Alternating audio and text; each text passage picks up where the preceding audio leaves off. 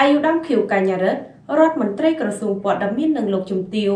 អាយុដំបណ្ឌិតជាមច័ន្ទសោភ័ណ្ឌអភិបាលនៃគណៈអភិបាលខេត្តត្បូងឃ្មុំ និងលោកជំទាវអញ្ជើញជាអធិបតីបើកព្រឹត្តិការណ៍នៃការប្រកួតកីឡាប្រដាល់គ្រុឌគុនខ្មែរ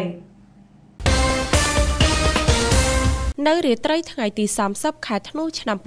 2022អាយុដំខៀវកញ្ញរិទ្ធរដ្ឋមន្ត្រីក្រសួងព័ត៌មាននិងលោកជំទាវអាយុដំបណ្ឌិតជាមច័ន្ទសោភ័ណ្ឌអភិបាលនៃគណៈអភិបាលខេត្តត្បូងឃ្មុំ និងលោកជំទាវបានអញ្ជើញជាអធិបតីបើកព្រឹត្តិការណ៍នៃការប្រកួតកីឡាប្រដាល់គ្រុឌគុនខ្មែរដែលបានប្រារព្ធឡើងនៅមុខសាលាខេត្តត្បូងឃ្មុំ រយៈពេល3យប់3ថ្ងៃ ចាប់ពីថ្ងៃ30ដល់ថ្ងៃទី31ខែធ្នូឆ្នាំ2022និងនៅថ្ងៃទី1ខែមករាឆ្នាំ2023ដោយមានកីឡាករខ្មែរថៃ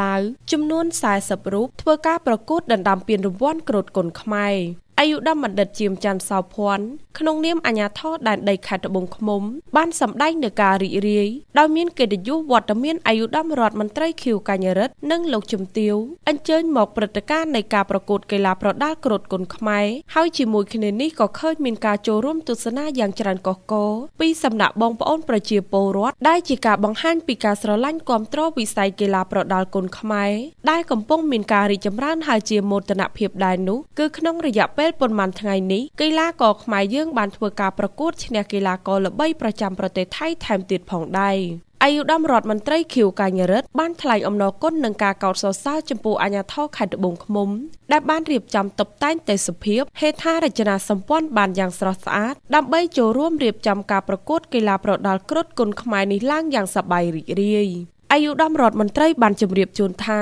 ព្រឹត្តិការណ៍គ្រុឌគុនខ្មែរនេះនឹងរៀបចំឡើង25ខេត្តក្រុងដែលមានកីឡាករប្រដាល់ឡើងនឹងថៃមកចូលរួមប្រកួតផងដែរ តាក់ទងវិស័យកីឡាប្រដាល់នេះអាយុដំខៀវកញ្ញរិទ្ធបានបញ្ជាក់ថាការប្រកួតមានឈ្នះមានចាញ់ដោយក្រសួងអប់រំបានលើកឡើងនៅពេលប្រឡងថាអ្នកចេះគឺជាប់ដូចនៅក្នុងការប្រកួតប្រដាល់នេះដែរអ្នកពូកែគឺឈ្នះហើយយើងអ្នកទស្សនាសូមទះដៃទោះខ្មែរយើងឈ្នះឬបរទេសឈ្នះក៏ដោយព្រោះការប្រកួតកីឡាសំខាន់យកបច្ចេកទេសដូច្នេះសម្រាប់ការប្រកួតនេះក៏ជាការវឹកហាត់កីឡាករខ្មែរយើងដើម្បីពង្រឹងសមត្ថភាពបច្ចេកទេសឈានទៅចូលរួមប្រកួតក្នុងកីឡាស៊ីហ្គេមដែលកម្ពុជាធ្វើជាម្ចាស់ផ្ទះនាឆ្នាំ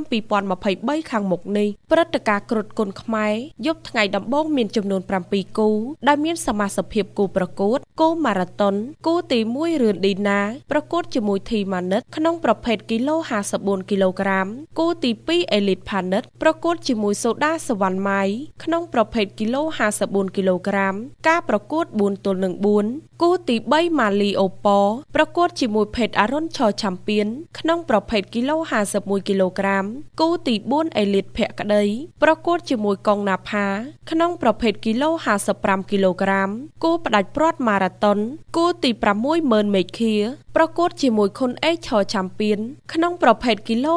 63.5គីឡូក្រាម គូទី7ឈឿងលវៃប្រកួតជាមួយស៊ីធឿនស៊ីរ៉ាវុតក្នុងប្រភេទគីឡូ71គីឡូក្រាម កម្មវិធីប្រដាល់នេះក៏ធ្វើការផ្សាយលើកញ្ចក់ទូរទស្សន៍ជាតិកម្ពុជា Facebook Page YouTube Channel ផ្លូវការរបស់អគ្គនាយកដ្ឋានទូរទស្សន៍ជាតិកម្ពុជា និង Facebook Page ផ្លូវការរបស់គ្រុឌ Energy ផងដែរកម្មវិធីប្រគំតន្ត្រីនិងប្រដាល់គ្រុឌគុនខ្មែរនាំមកជូនជាពិសេសដោយភេសជ្ជៈបើកម្លាំងគ្រុឌនិងគ្រុឌអាយ